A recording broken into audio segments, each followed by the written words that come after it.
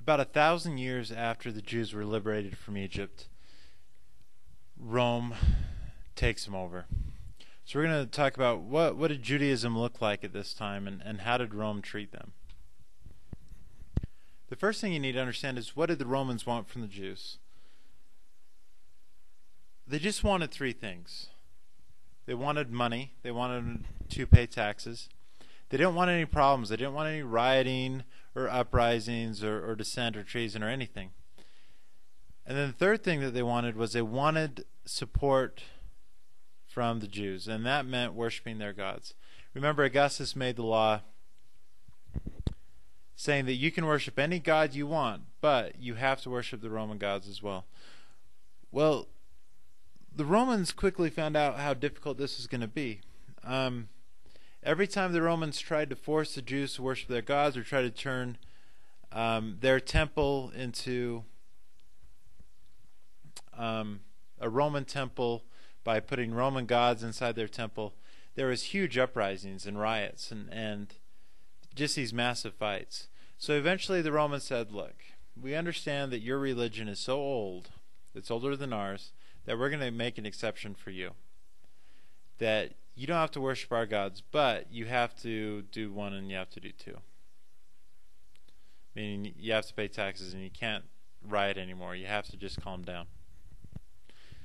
So they make quite a few exceptions for the Jews. Um, but wherever the Jews go, they're kind of seen with, with suspicion because they're still the guys that don't worship the Roman gods, um, and people don't quite understand why not. They don't understand what, what the problem is. Let's talk about the different groups of Judaism. First, let's talk about Sadducees. Um, Sadducees are cooperating with the Romans, and it's the Sadducees that the Romans put um, in government positions. One unique thing about the Romans is when they took over Judea, or the Jews, they picked Jews to rule over them. And mostly they, they picked from the Sadducees. So they're the upper class. They're they're extremely knowledgeable of the Jewish law and they try to obey the Jewish law as closely as possible. Then we have the Pharisees, who are very similar to the Sadducees, except they want to liberate Judea from Roman control. They they don't like the Romans at all. So the Sadducees and Pharisees are similar in the fact that they're obedient, and also um, they're educated in kind of the upper class. However, the Pharisees um, want to want to get rid of the Romans, and the Sadducees are, are working with them. How I remember that is the Pharisees were fair to the Jews. Now, when I say they're obedient to Jewish law, you hear stories of um, them going to extreme lengths to stay obedient to Jewish law. For instance, during the Jewish Sabbath, you you weren't supposed to work, so it said that some Pharisees would actually count their steps on the Sabbath to make sure they didn't walk too far. Um, I even heard a story of, of uh, of some Pharisees that wouldn't walk on grass because it was against Jewish law to plant or harvest on the Sabbath, and they're worried that they might accidentally plant a grass seed if they're walking on grass, so they avoided that. So that gives you a sense of how strict these guys are, um, trying to follow Jewish law as closely as they can. And then we've got the zealots. These are the warriors. These are the guys that arm themselves that hide up in the mountains and the hills and bushes and wait for Roman legionnaires to pass by and they jump out and they kill them. These guys are the fighters. And they will overthrow the Romans by any means necessary. Then there's this other group that are, are waiting for the Messiah to come. What the Messiah is, is the Son of God. And they were expecting the Messiah to do certain things for them. One is to free the Jewish people from the Romans, similar to what Moses did for them by liberating them from the Egyptians.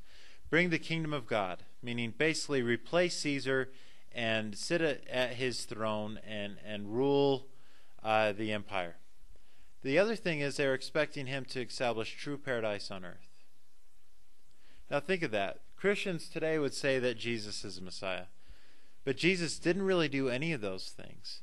So by by many Jews he was seen as a fake Messiah because he didn't fit their expectations. On the next video we'll talk about why he was accepted by some and why even though he went against these three things um, he's still seen as a Messiah. So j- just one more time, they're expecting God to liberate them just as he did from Egypt by sending a Messiah who will fight for them and will do something similar to what Moses did with the 10 plagues, parting of the Red Sea, that the Messiah would come and literally take out the Romans um, with the power of God. So now let's talk about Jesus. How does Jesus fit in here? As historians, it's hard to tell um, a lot about Jesus. The only place where where we find a lot of information about him is the Bible. There, there's few outside sources, reliable outside sources, other than the Bible that we can go on. So historians will actually read the Bible, and they'll look for things. Um, there's the four Gospels: Matthew, Mark, Luke, and John. But the four Gospels, um, not not all of them are exactly the same, and so they'll look for what they all have in common, and then they'll look at that, and then they'll compare that to archaeological evidence at the time. And then the bottom line is they will guess. So let's go with the for instance here. Um, here's a picture of Jesus as a carpenter. The Bible says he was a carpenter. Now, historians, they read that. Um, then they compare that to archaeological evidence. And the archaeological evidence at the time says that where Jesus supposedly lived, there was a lot of stonemasonry or stonework, carving. And so some historians will say that the Bible says he's he's a carpenter, the archaeological evidence says that he was probably a stonemason, so they they they guess, right? Does that mean Jesus was a stonemason? Well, no. We we don't know. They're guessing. But it is an educated guess. So so that's kind of the pattern that historians will go through um, in order to make their assumptions about Jesus and about his life. But even in the Bible, there's certain time periods of Jesus' life that nothing is written about him. They're called basically the dark years of Jesus, where we don't know what he did, and so historians have made all sorts of guesses about about his life. Um, so anyway, that that's just a pattern that historians go by. Lots of people hated Jesus. Um, if he wasn't hated, he would have been killed, right? So let's talk about who hated him and why. His most powerful enemy was actually Rome. It was Rome that killed him. Um, they hate him because they're worried of, of him forming a kingdom. He talks about forming a kingdom. Uh, there's people that call him king. In fact, in the New Testament, uh, the Roman governor Pilate asks him, you know, are you the king? Are you a king? Um, when he's crucified, according to the New Testament, they put above him on the cross, King of the Jews. So the fact that people called him king or that he called himself king is a big deal because there's only one king in Rome, and that's Caesar. And if anyone calls himself king, that's treason. Um, now, Christians would say that he was building the kingdom on the left, not on the right. So if you look at these pictures, the Christians would say that he was building a kingdom in heaven, not an earthly kingdom. Um, and the, the Bible quotes Jesus as, as saying some similar things to that. But it doesn't matter. The Romans hear king, they think treason. Kind of ironically, the Zealots don't like him because he's not violent enough, that he doesn't want to overthrow the Romans using violence and establish that kingdom.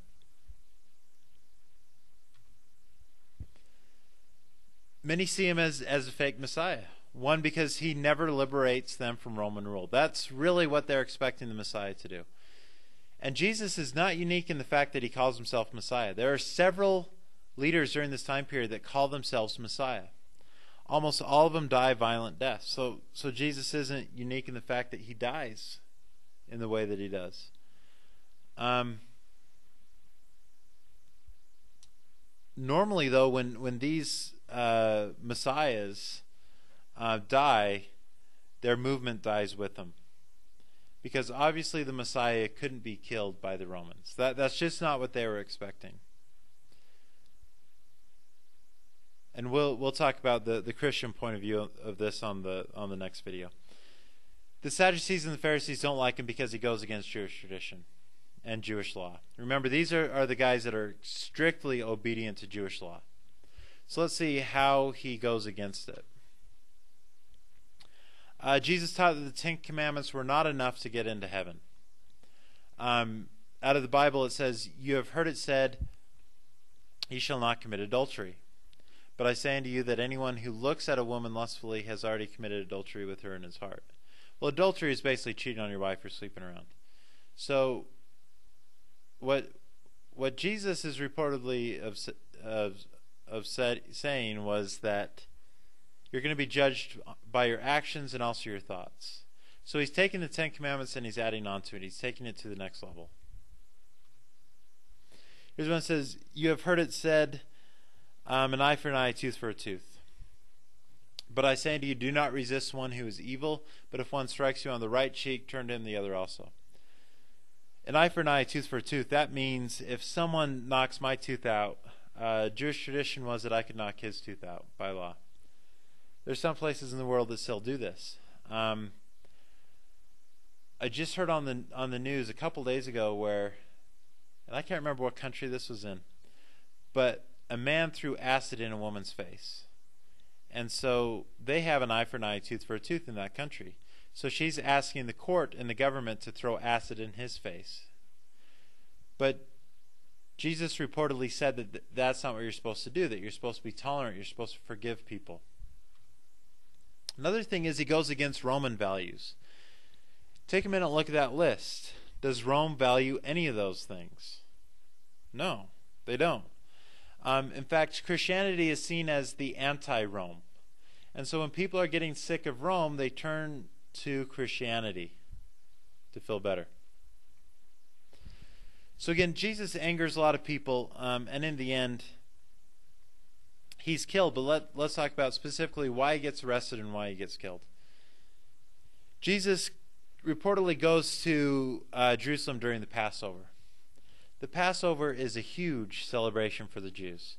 Picture New York City, New Year's Eve for a week. And that gives you a sense of, of what the Passover would have felt like. Remember, during the Passover, they are celebrating their liberation from Egypt. So obviously, the Romans are a little on edge here because here is a group of their subjects that are, are celebrating when they were liberated a thousand years ago by God.